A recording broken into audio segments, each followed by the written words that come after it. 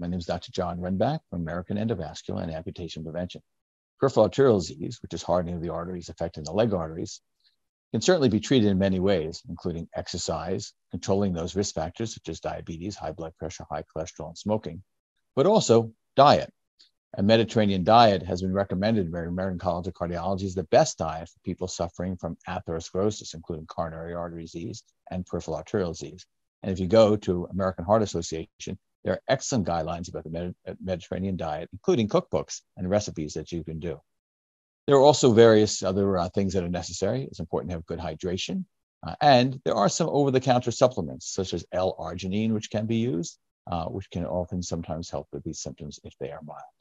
In general, there's an expression what's bred in the bone will out in the flesh. So you need to be, you know, take good care of yourself and eat well and make sure you have a healthy diet, avoiding those things which you all know to be bad for us. And that can help with your peripheral arterial disease.